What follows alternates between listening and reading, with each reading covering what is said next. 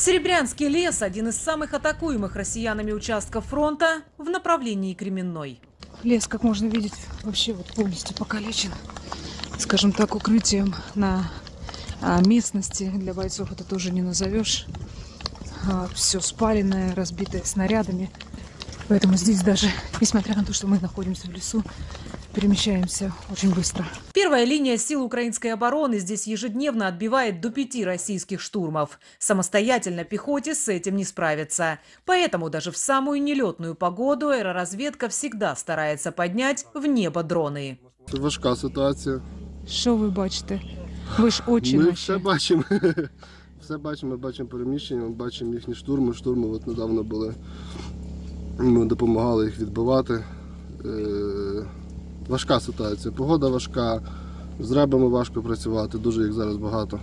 Бойцы отмечают, на этом участке фронта россияне редко штурмуют техникой, чаще атакуют небольшими группами. Техніка дуже рідко зараз їздить, тому що її, ну, її підбивають. На зараз є можливість і FPV-дронами, і артилерією їх бити. Техніка дуже мало їздить зараз. Ну а піхота буває, що пробують, роблять спроби. И такие попытки ежедневно пресекают операторы скидов и дронов «Камикадзе». Піхота останнім часом засоби зв'язку їм знищуємо. Дуже багато. Антени і все таке остальне.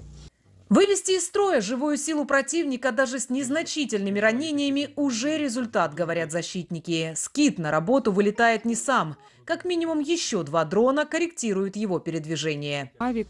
Ну, Піднімаю ретранслятор, який передає частоти.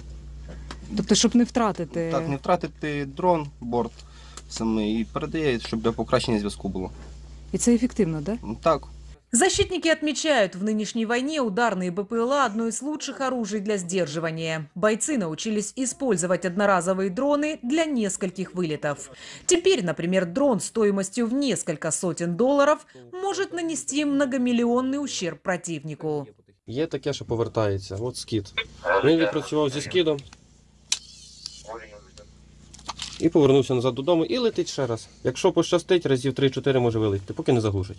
Бойцы самостоятельно собирают и обслуживают дроны. Признаются, с обеспечением такими средствами борьбы с противником им хорошо помогают волонтеры.